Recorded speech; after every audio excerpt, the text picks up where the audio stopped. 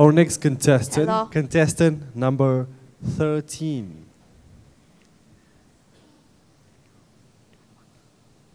Xing Hua.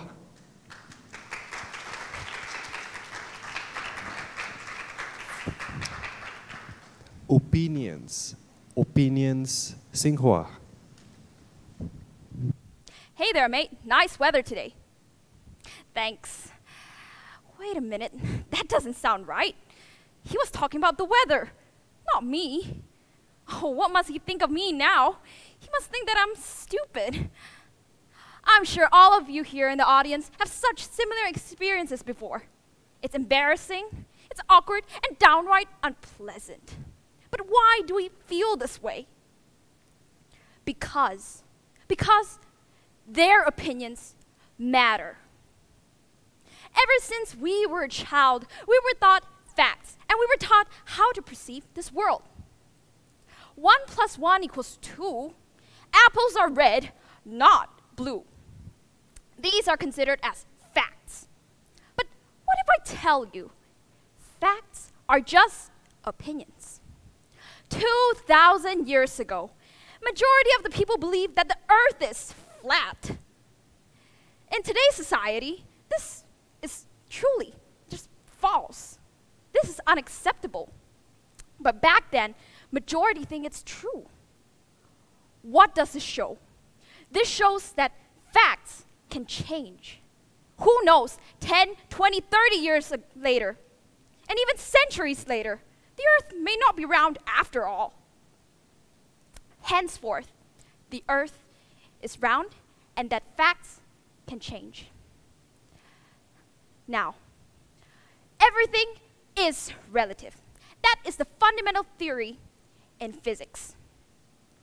To better illustrate this, I want all of you here to imagine. Imagine if I were to isolate a person.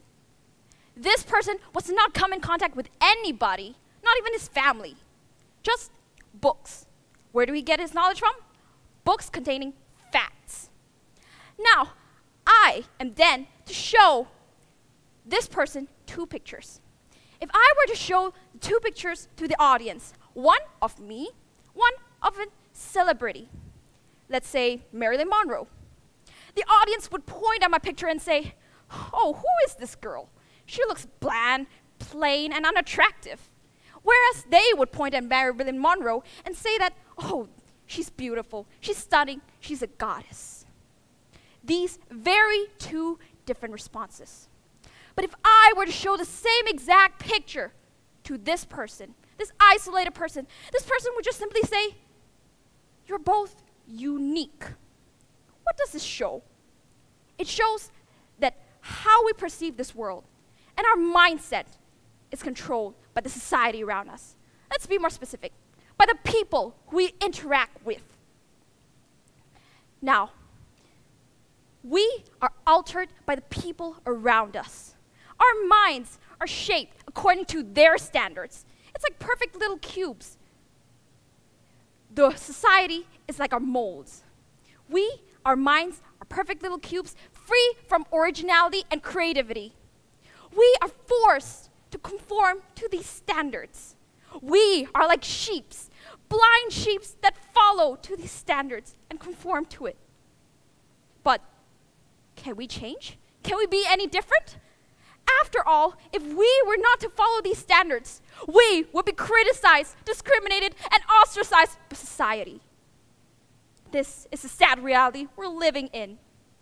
Henceforth, I warn you, I warn all of you here to view this world as a cynic, to view this world with a skepticism.